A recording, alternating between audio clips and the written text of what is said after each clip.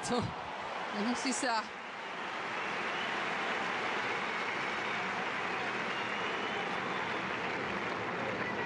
Era la palla sotto le suole Sicuramente era dietro le scarpe perché